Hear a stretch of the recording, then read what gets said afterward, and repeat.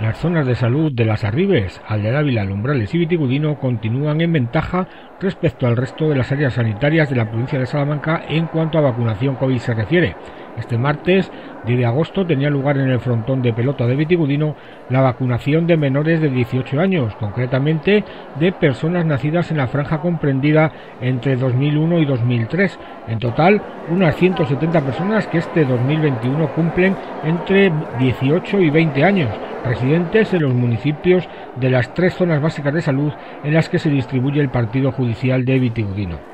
Asimismo, a primera hora se comenzaba con la inoculación de la segunda dosis de Pfizer a los nacidos entre 1966 y 1991 que el pasado 20 de julio recibían la primera dosis. En total, 380 personas más que tienen ya la pauta completa de la vacuna.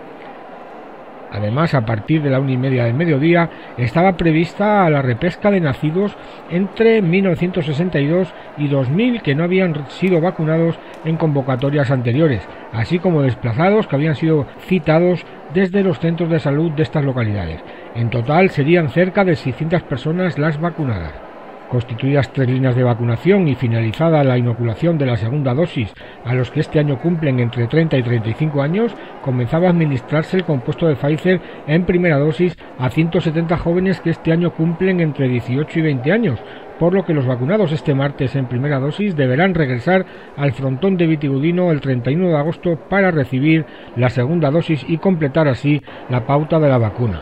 La experiencia del equipo sanitario y la coordinación en la organización de la cadena a cargo de los voluntarios de protección civil de Vitigudino se transformaba un día más en agilidad y rapidez en la vacunación, evitando que hubiera cola a las puertas del frontón.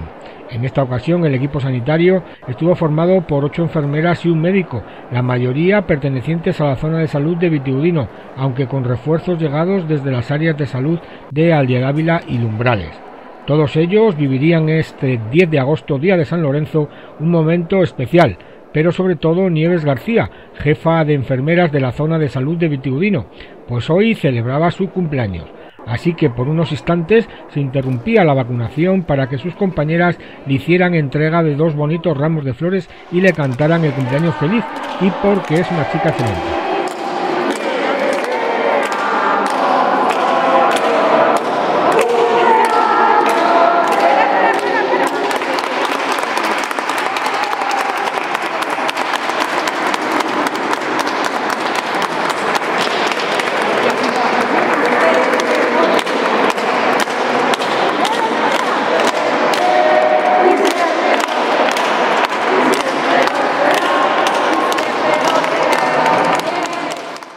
Próxima jornada de vacunación en Vitigudino se espera para el 17 de agosto, día en el que deberían recibir la segunda dosis de Pfizer los vacunados el 27 de julio pasado.